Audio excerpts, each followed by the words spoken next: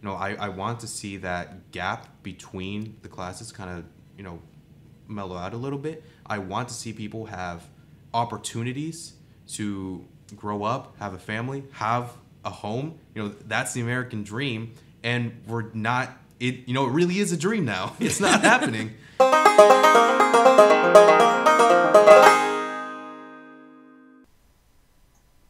Hey, y'all. Welcome to the Texas Forward podcast.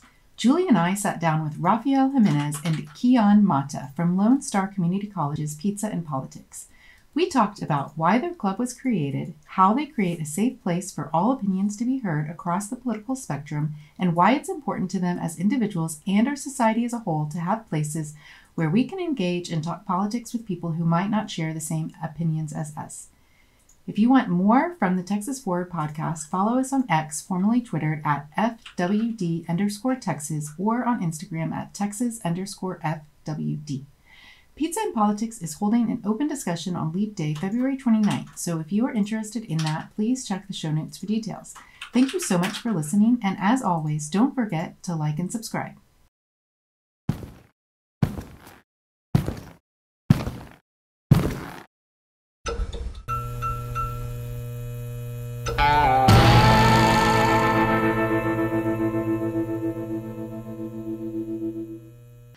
Hi, welcome to a very special edition of the Texas Forward podcast. My name is Julie Cornegy. I'm your co host. And I'm Emily, your other co host. We are here today with two very special guests from the Lone Star Montgomery County College, Community College here in Conroe, Texas. Please tell us a little more about yourselves. Hello. Uh, thank you for having me on the show. My name is Rafael Jimenez. I'm the president of the Pizza and Politics Club at Lone Star College Montgomery. And th- joining me today is. Hi, thank you for inviting us. My name is Kyahn Mata. I'm the secretary of Pizza and Politics at Montgomery County campus. Can you tell us a little bit about your organization and how you got involved and how long you've been involved? Yeah, absolutely. So, I mean, I'll start and then I'll let you talk a little bit about what we do. So, once again, we are a club. I like to say in emails that we're an organization just because it sounds cooler. You know, it's like we're a student led organization, but we're a club. Uh, and what we, this is our second year. So, it's a very new club. We started last year. Uh, the president and leadership at the time, you know, started the club due out of people just needed to talk about politics. You know, at the time, Roe v. Wade was just overturned. So, you know, there were a lot of students who were anxious, who were concerned about what was going on, and they didn't have an outlet on, on in which to talk. So, the advisors of the club, uh, Professor DeVoli, he got together with a few other professors and said, hey, let's start a club where we can just talk politics. You know, I jokingly say we eat politics and talk pizza. That's just me, you know, mump or messing up. But, you know, we eat pizza and we talk about politics. It's our second year, and pretty much that's all we do. We just talk politics. Kyahn, do you want to add anything to that? Yeah, I'd agree the same thing. It, it's pretty much just open discussions. Um, I'm very interested in hearing what people, our peers at our college, um, have to say of political issues. Um, I think it's important to get your reps in of discussing your ideas and your thoughts. And we do a good point to keep the discussion very civil and yeah, it's just a safe space for you to spread your mind. Is this kind of your first foray into politics? Not mine. I've been involved in politics since I think middle school for me. You know, the 2016 election was really when I started to get into politics, like directly. My parents had always been very invested in geopolitical issues. They're immigrants from Mexico, so they were, were always interested in that relationship between America and, and Mexico. Uh, I was interested as well, but from a juvenile standpoint, you know, I I, I, I, supported the Mexican soccer team, and that's really all I could say about politics. and then as I got older, the 2016 election, as I was mentioning earlier, was was a huge turning point for me. Uh, it was an election that had a lot on the line, um, and even to this day has had some consequences. So, in for me, you know, Bernie Sanders was you know was my guy. You know, and I, I, I loved him. You know, he got me into the political sphere. He got me interested. Then, as I progressed through high school, I created a few political organizations at the Woodlands High School. I campaigned for political uh, offices nationally and locally. I tried my best to volunteer and just be involved with other political organizations in Conroe and Houston. And you know, now in college, I do my best to be a good leader for my community and do the best I can in providing a safe space for political communication or conversation and so on and so forth. Yeah. yeah. And um, yeah, me, I'm less was less involved. Um, this kind of does help me spread or kind of formulate what I actually believe in. Before, I think first foremost, I just cared about people, and often politics affect people. So it's kind of natural that um, just this was promoted in one of my classes, and I came up and joined, and I liked what was going on. Um, yeah, I at first my scope was very um, closed off. I really only kind of worried about the things that affected my people and my community. But um, after coming to the club for a little bit, it's allowed me to expand my horizons and think about stuff that not only affects my specific community, but you know, stuff globally, stuff nationally.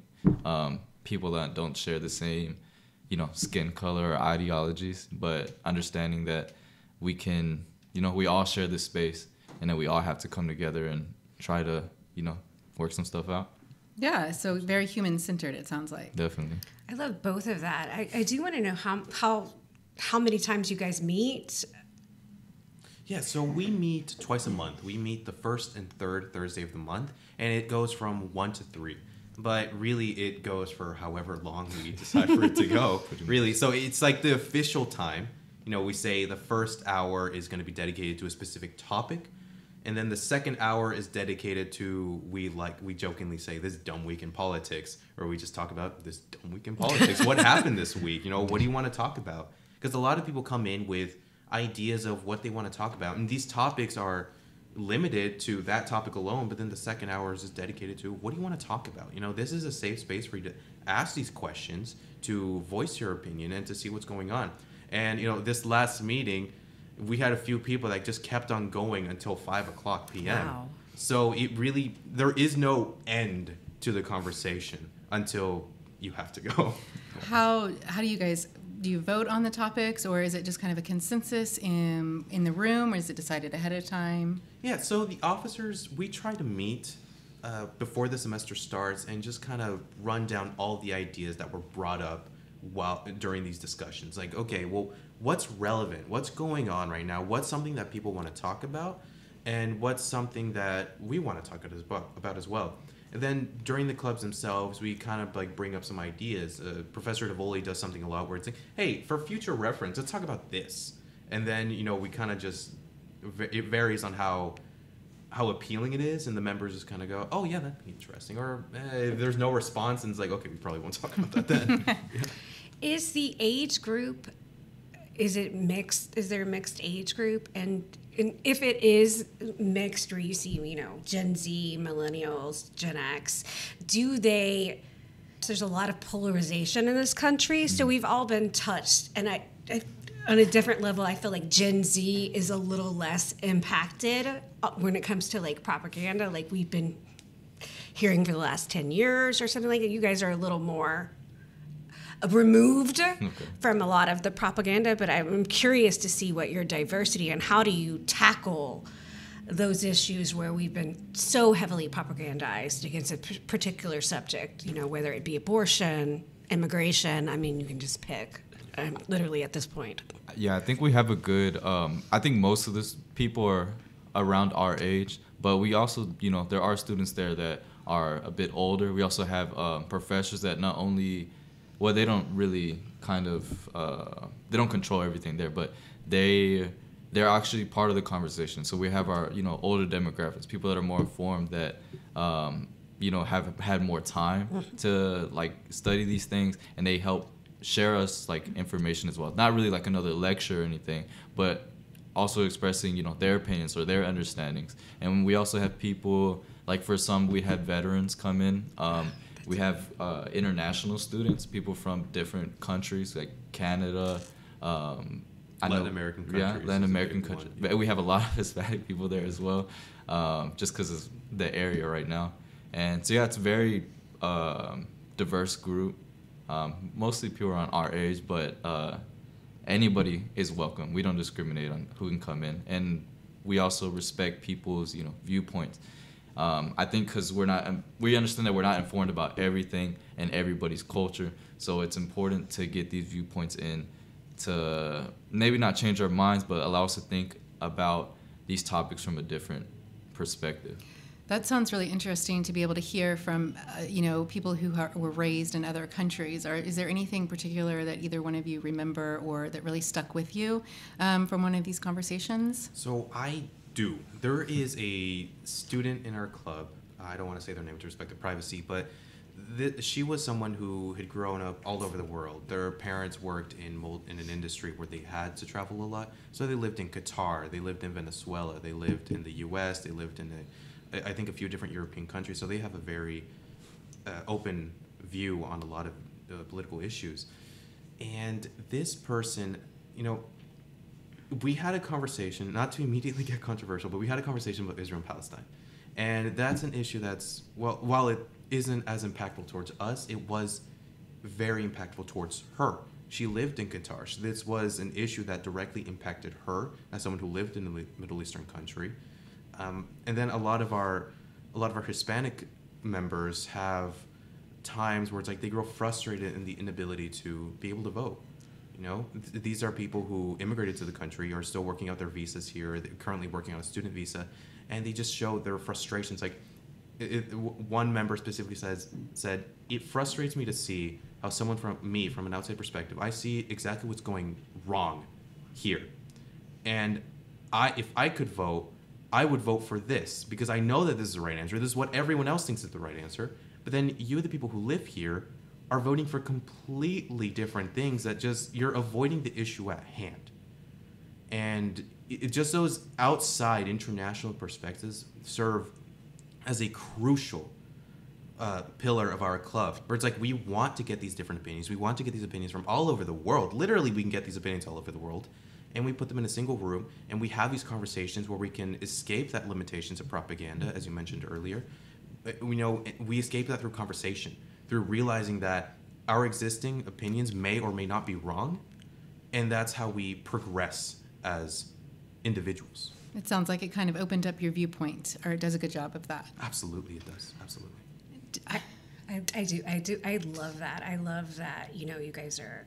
How do you create that type of space? You know, obviously, what the Israel and the Palestine, what's happening, it's a very sensitive, and you know. So, how do you create that self safe space. So the young lady that you mentioned feels like she can she can she can voice her concerns and relate on all her experience from living you know in all these different places but still feel like she's not going to be ostracized by having her viewpoints.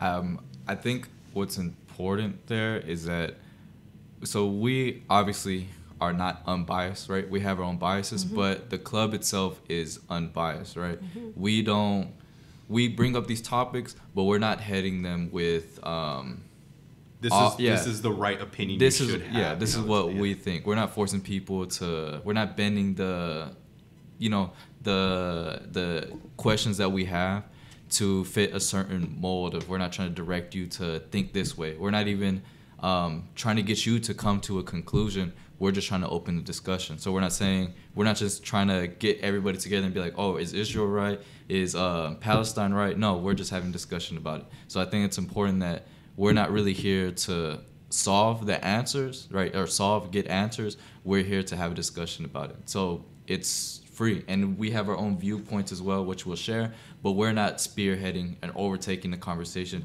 We're not interrupting people, even if we do think they're wrong. We give them their time to speak and you know we share. We just share. And i would like to give a lot of credit to our members as well. Mm-hmm. obviously i mean the club wouldn't exist without them. And you know we can do everything in our power to make sure that the club remains unbiased but or you know to make sure that we're allowing for free conversation. But at the end of the day the members are doing an excellent job themselves and making sure that they moderate themselves they moderate each other they moderate the conversations at hand.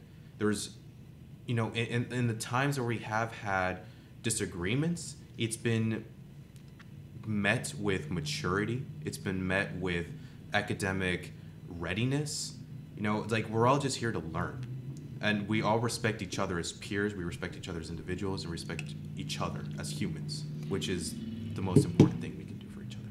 Rafael, what we were talking about off camera, about, you know, how it's a special space that you've created here. Um, what do you think the differences between media and social media specifically and your club like how can we bring some of that to a broader audience i guess? Or how can we bring that into our everyday lives when we're dealing with pe- not dealing with that's not right way to say it but when we're talking with people outside that don't have the same opinion as us. Like are there tools that you guys discuss in your group to help people keep calm or um, just ways that you see that you'll naturally you know um, make that happen that could be applied to the outside world? And do you guys like take this information and discuss it other places? Or is it really like we just talk about this is our space and we know it's safe so this is where we talk about it? Or is it a bigger um, does that make sense Yeah, there's a lot of points to address there, so I'll try my best to address the best or address those points to the best of my ability. So, social media and media in general has this veil of anonymity, right? Where it's like you can just say anything you want and there is no repercussions, right? You might your comment might, might get disliked, you might get reported for whatever reason. Someone might say, "No, actually, you're dumb and wrong, and here's why." But at the end of the day, who cares? Right? Because I can just po- post whatever I want on Twitter, I, or now X, I guess. Uh, you can post whatever you want on Facebook and Instagram. It doesn't matter, right? Because your reputation, your person, your persona isn't on the line. In contrast, our club, you have to meet the reality that these are real people, right? These are people that you're talking to. This is a real outside place where you have to make sure that you're being mature in what you're saying. You need to think about what you say before you say it, which sounds like some, which sounds like common sense. Think about what you say before you say it, and it's been something that's been drilled into us since kindergarten. But some people just forget online, and so in this space, we we have to come with that re- come to terms with that reality that you know people are people, and you have to respect those people. Um, and I guess in, in, in questions of like, is pizza politics, is that our only safe space? I have a lot of respect for Lone Star College Montgomery. The entire campus I would recognize as a safe space, right? And while I would say that pizza and politics is a bubble in the sense that people who are interested in politics can come in and talk about politics, I haven't been to a single class in that campus or I haven't been to a single location in that campus where I can't talk to someone freely, right? So, and I think that goes with the sense of just academic freedom, right? It's like if a college campus is a place where you learn, is a place where you can grow as an individual, where you can ask questions that wouldn't normally be asked, and that we, in, in the freedom of that, pizza and politics likes to embrace that. I love that. I do have a question about the safe space because you know it gets a bad rap. like Yeah. just that for I don't really understand why. Like what do you think about that? I think Like o- often safe spaces, um, especially online, they can be seen to like shut down stuff that make make you uncomfortable. But this is a place where you can be uncomfortable and nothing's gonna happen to you, right? We don't really promote um, not recording in our thing, but it's kind of like general. Like we don't record. We allow people to say what they want and not kind of be permanent on the internet. And also, one thing that earlier that um, stuff that's like reflected on social media about discussions like this, usually they're very anima- animus or have a lot of animosity towards them. People are like arguing, they think you're wrong or they hate you because you think a certain way. I think would make a good point that to understand that people would think differently than you. Not everybody comes from the same background. People are raised differently. We have Christians people there. We have Catholic group there. Um, we have you know agnostic, atheist people that are very secular, and yeah, we just respect where you came from. We respect what you're, you know, what you're trying to share with us, and we make a point to keep it safe, but not keep it. You know, we're grown-ups. You can deal with uncomfortable situations. You can deal with somebody disagreeing with you, but we're not going to just shut you down if you say something that we don't like. But also, we keep it respectful. You know, we're going to keep things not heated, very civil. To, those are great points, and I, do- I do appreciate that a lot because we do try our best to just go back to you know going back to safe spaces to maintain a safe environment where we can voice our opinions. But to, to answer your question about why it's safe space in general seem to be perceived as negative, I, I hate to bring it up, but you know there is a lot of like criticism since like against woke culture, right? Or just the idea that you know people's identities can be respected. You know people's feelings can be you know respected or just like appreciated as well. And so the idea of like a safe space is someone where someone's identity and someone's someone's humanity can be respected is just perceived as like it's it's an embrace it, I guess people who are against woke culture see it as an, as embracing these woke concepts, whereas like it doesn't make sense. A safe space to me is someone where somewhere where I can feel safe, you know, regardless of any political bias, regardless of anything. Obviously, we're a political club, but you know, people in there who have political biases or don't have political biases and just want to have a conversation. That's what we're about. We're just like just so you can sit down, feel safe, express yourself, and have a, an adult, mature conversation. I'm so happy you said that. I think I haven't heard it put in that those terms, but I think you hit the nail on the head where you said this is a place where we can think freely and we're not going to be punished for it. We don't have to fit into I'm right and you're wrong, but out there it does feel like everything nothing is bipartisan anymore and it you, you are fighting for your identity um, and you know to belong to this group of people or that group of people. And it's like no we can actually just be human and we can have our own thoughts and ideas. So i think you really nailed it there. I wanted to um, circle back and get your opinion on um, if you had any like moments that um, from the outside perspective of the students from other places because we didn't give you a chance and i just wanted to see if you there's anything that you wanted to share as far as that goes Like, um, are you saying international the students? international students like if they had brought a new perspective to you Um, I think yeah. Recently, in our um, love, love is love topic, and we're talking about like ages of consent and um, I guess LGBTQ uh, marriage laws, black and white marriage laws, um, and we started talking about just uh, customs and stuff. Right?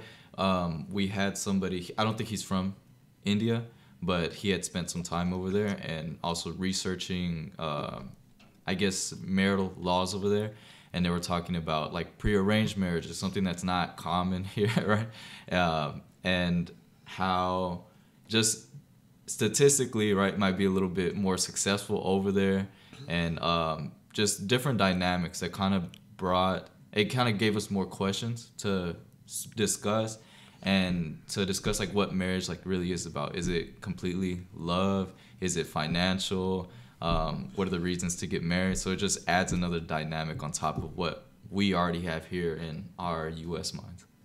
I love that. I, I I'm really interested in you know it's like do you guys do things outside of the club, uh, whether it be civic or just going out and having pizza? Uh, do you keep that social network alive when you when you guys are working through Montgomery County? Um, Okay. Yes. The You c- do. community engagement, that one, right? Yes. Okay, cool. Yeah, so Pizza and Politics, we try to maintain this unbiased model, right? So there have been times where we have considered, okay, well, maybe we should fundraise for this movement. Maybe we should go out and promote this political candidate. However, you know, I, I've spoken with my officer team, and it always comes down to we don't want anyone to feel like this isn't a place for them, right? So in the in the times that we do go out into the community and promote something, it's usually just along the lines of be active in the community, mm-hmm. right? That's really all we promote. It's like uh, in the 2022, 2022 November elections, we, you know, I pushed like go out and vote, get registered to vote. If you need help registering, here's some links. Go talk to this person. Um, here's a voter guide on who you can vote for. You know, Kyahn, actually, you benefited from that voter guide. You were actually able to go out. You, you became informed on how what was going on, and you went out and vote. So that's just some. That's really what we promote. We promote just going out, being active, becoming informed. In terms of like social ties, we're all friends. You know, it's like uh, I would have never met Kyahn How cool. if if it weren't for Pizza and Politics, and now we you know we meet, see each other in the hallways, we hang out, we Mm-hmm. talk, and outside of the club as well. There, you know, we already have these social ties, so we'll see each other and we'll just ask questions to each other. You know, in the middle of the library, we'll just start talking, and then other people will hear and they'll join in, and then it's like, oh well, if you're more curious about this, come to Pizza and Politics. So you have, you know, you have found like other members through being in the library or being out in public. Absolutely. Awesome. Okay, so my train of thought came back. um, so in regards to like, I know, I know you had mentioned 2016, and you know Donald Trump is when you. So that kind of is on a federal level. Uh, local local politics. I did not realize the importance of local politics until i followed the 2023 texas leg session. And so i that was when i was like oh this is a whole different arena. I had been you know worrying about what you know our senator ted cruz had been doing. So how do you like meet that balance where you are you are paying attention to what's happening on a federal level, but you're also you're you're you're down and you're like this is what's going on in the school districts. You mentioned you have um, siblings that are still in, you know, high school and along that line. So how do you find that balance in your group where you're discussing those local issues that are going to impact us every day, and more or less on the federal issues, which are kind of taking up a lot of the a lot of the airtime. So. um, I think one important thing that we have coming up is um, our panel, which we actually invited the forward party to be a part of, and that's also another that right now that's our probably one of our big step of getting people involved in local politics. Right outside, we're gonna have um, one of our professors um, that's gonna help people get uh, registered to vote um, for locally, and also we have questions prepared to ask you um, or ask just our members for. Uh, right the what do we have uh, republican yeah we have a so the panel just to go more in depth on that the in, in terms of local politics we set up a panel full of local politicians or local not politicians uh, local political parties yeah representatives yeah, from local political parties so that they can talk about local politics. They can talk about the importance of getting registered to vote the importance of voting who exactly you're voting for each representative i'm, I'm sure will have their you know uh, biases and we'll have like oh actually no you should vote for this set this policy. Uh, and so we're just we're gonna we're trying to host this panel so that the people of the community of the college can know what's going on exactly. Because as you mentioned eh, like the media is just overrun with these non-issues really that just it's a plague. You know people are more concerned about woke culture and about you know these once again these non-issues that just don't matter and they're forgetting about the real issues that are occurring in their communities. So hopefully you know being able to shine a light on the community with these local representatives um, as Kyahn was mentioning we, we're going to have a, a republican we're going to have a democrat we're going to have uh, a member of the forward party we're going to have a libertarian we're going to have a socialist. So we're going to have these these local people who are interested in local politics to make sure that local people get registered to vote for local issues and it's also important like it helps inform uh, some of our students. And maybe not all the policies might affect them directly but it could affect their you know families or their parents. You know maybe their parents own homes and there's stuff about property taxes that's going on.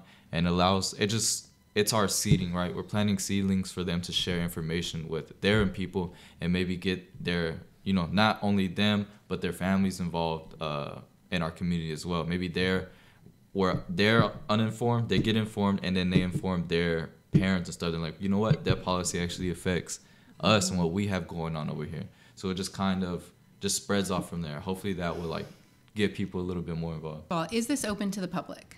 Absolutely, it is. Okay, absolutely. So this yeah. will be at a time where um, anybody, if you're in Montgomery County, you should come out and you should. Do you want to tell like when is this, and do you already have the place? Do you want to share right now? Absolutely. Um, so that they can, you know, hopefully come and, and hear you guys? Absolutely. So I do want to emphasize that it, since it is a community college, we do have a preference for students. Obviously, we we do you know uh, promote to the student body. But of course, if you're a resident of Montgomery County, you have just as much right to access information as anyone else. So we do promote, or we do, we would like to publicize this event to anyone who's listening. It's going to be taking place at Lone Star College Montgomery on 242 the building it's going to be taking place is building G in room G102 from 1:15 to 3 p.m. So, and it's a big auditorium room that we have reserved. There will be pizza. You know, uh, one saying that we have in the club: "Come for the pizza, stay for the politics." So if you really only want to come for the pizza, please come for the pizza, but do stay for the conversation. And you know, in, in during this panel, if you have any questions that you would like to ask these political parties, we're gonna have a segment where it's gonna be open to the audience to ask any question you would like. If there are single issue voters that are interested in the single issue, and you want to hear a diverse panel of political parties talk about that, talk about that single issue, you're more than welcome to. So absolutely, this panel is for information. You know, it's to get educated and get registered to vote. And what is the day and the date? Right. Good point. so February 29th of this month. What drives you guys to be so civically engaged and to incur? And then, so that's one question. Like, is there a moment in your life that you really was, you know, that you're like, I have to be involved? I know you said you mentioned kind of the 2016 election. Um, what was it about that? And that's part one of the question. And then part two of the question is why do you think it's important for civic engagement in our communities? And what can we do to bring more people in?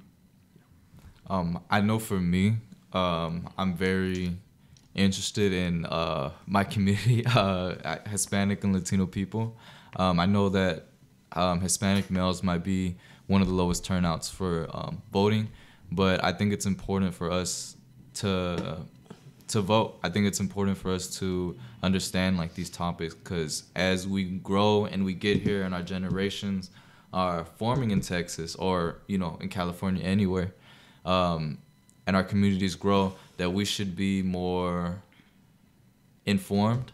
We should be more um, together. We should. I think we should ha- be able to help our community more, and that's it. It helps us gain a stronger foundation for the future generations, if that makes sense. Are there specific issues or not? I don't want to get into the weeds, but Mm-hmm. is there something like that you're really passionate about? Like it's because I want to see my community thrive, or in in like education or anything like that.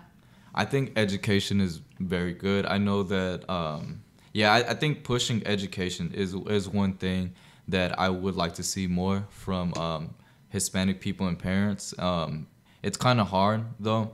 Um, often you see, uh, often when your parents are from somewhere else, they do not know all the avenues and pathways to kind of or the connections you know they don't have all the connections here because they're busy working and um, oftentimes i see a lot of my uh, peers and childhood friends they they they do well i think a lot of us are doing well but um, i see some of us just call fall victim to being um, uninformed and um, I guess social pressures and being kind of cast aside when you're, you know, working class, and um, yeah, and then also just falling victims to mistakes. Sometimes you could make one mistake and it can lead you down a bad path that you might never recover from, or it takes a lot of hard work. Community, the people that you're around, it's super hard to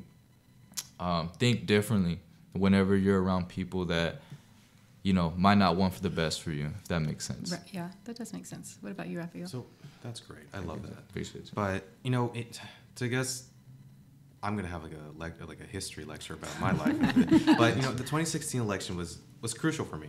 You know, that was the year that Trump ran for office on the Republican uh, caucus, and his rhetoric towards immigrants, specifically Mexican immigrants, was just devastating.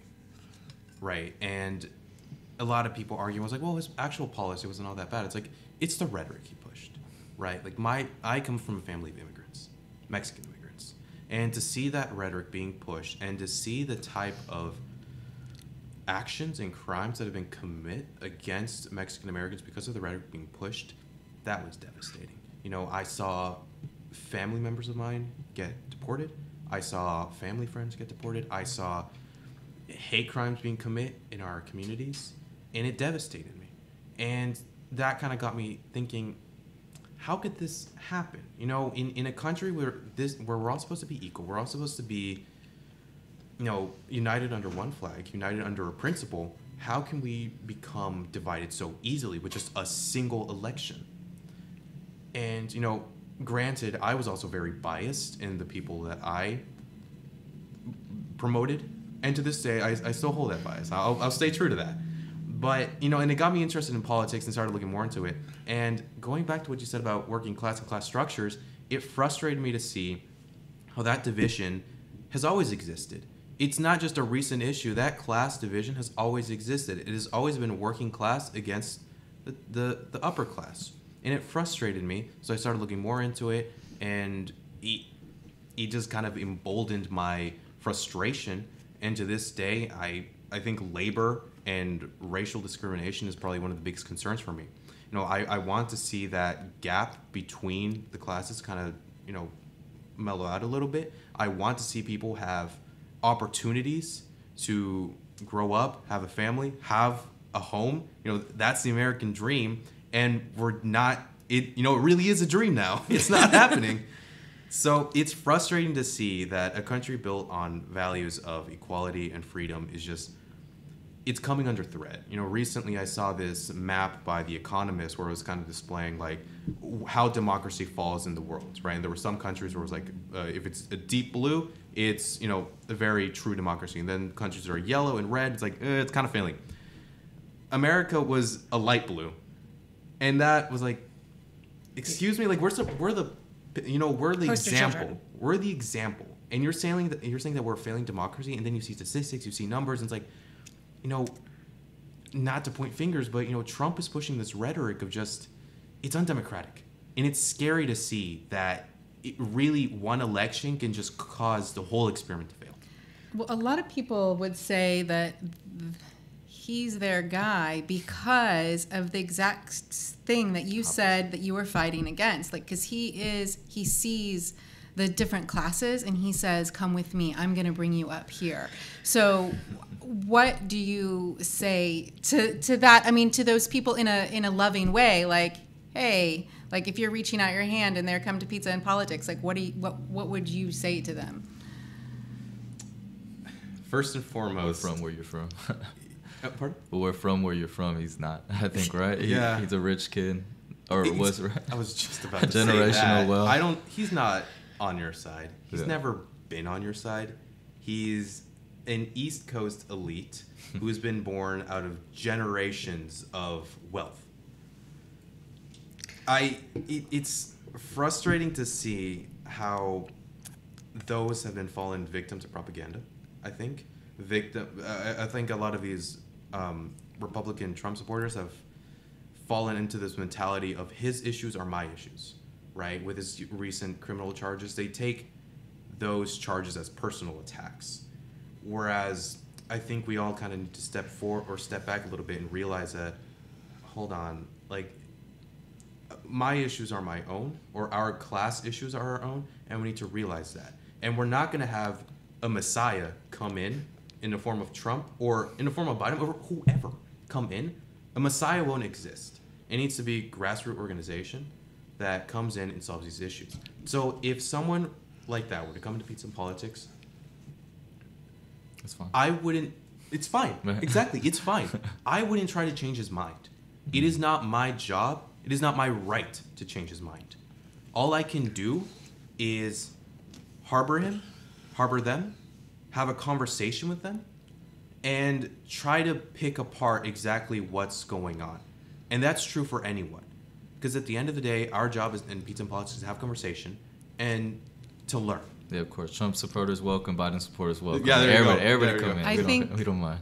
Y- That's great. I mean, it sounds like it really does come down to civic engagement, and that the more informed we all are, the the decisions that we make will be based on information and not based on e- kind of pie in the sky mm-hmm. ideas or the identity politics that are being pushed right now. And so it really comes back to that, is what I'm hearing you say. Absolutely. Is that Yeah, I, I just, you know, when you were talking about Trump, and I want to just say, from my point of view, I had the 2016. I remember it today on my one of my Facebook, like, America, you're fired. Really, it was in 2015. I put that, like, because I knew President, you know, like I knew former President Trump from, you know, The Apprentice or from his other, uh, and I, and at the time, I did not think that he was he was a good candidate to be president simply because you know I mean, for, there there were a lot of reasons, and we don't have all day. So, but at that time, I thought he was the problem. That it all happened in 2016, and that's when we got off track.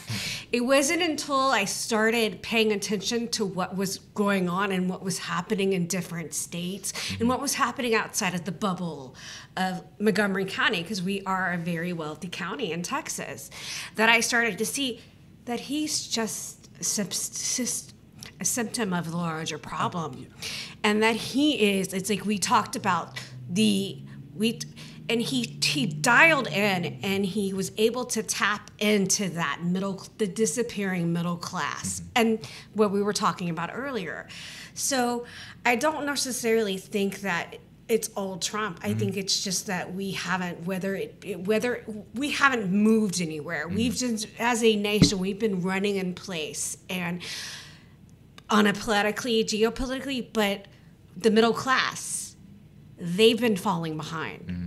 So I think he, that Trump does a really good job of speaking to that and speaking to that pain. Yeah, I know, I know the system is rigged because I, I, I- I, yeah, I I, happen to use yeah. all the loopholes, and Trump does a really good job of dialing into that Mm-hmm. anger and dialing into that despair of hey am i going to be able to meet, meet you know my rent pay my rent or fix my ac or fix my car trump does a really good job by just being blunt about yeah it's yeah it's a it's the system is rigged and i'm a happy participant and so i think that i, I just I, I i just wanted to circle back on that and that's for our viewers um, that um, Trump, you know, by all instances, like I, don't- I personally don't feel like he's qualified to be president, but I also didn't feel like George Bush was. Hello, Texas education, to be president as well. But that doesn't mean that I think that I think that there are.